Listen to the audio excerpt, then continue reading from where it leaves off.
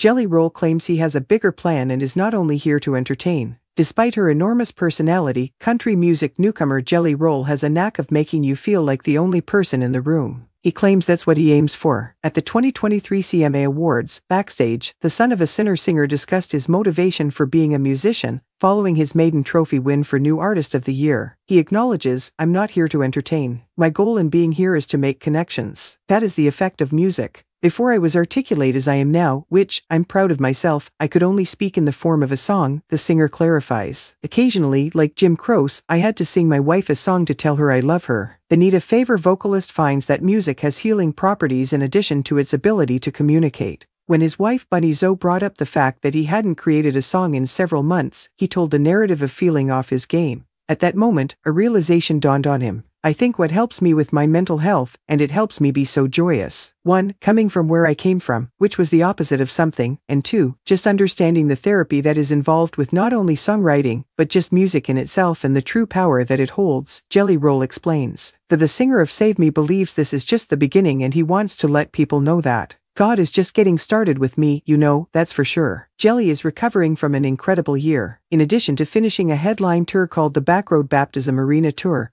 and winning three honors at the CMT Music Honors, he also released his first country album, Whitsitt Chapel.